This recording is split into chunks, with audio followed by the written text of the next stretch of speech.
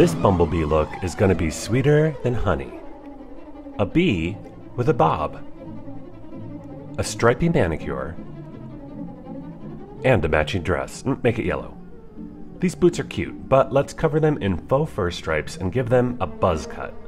Perfect for stomping around the hive with her matching bee sting purse. I had two concepts for her eyeglasses, so I 3D printed both of them, tinted them, and then finished them in gold. The final look has all the bees buzzing, but I still can't decide on the glasses. Is it the honeycomb or the flowers? Honeycomb, flowers. Hmm.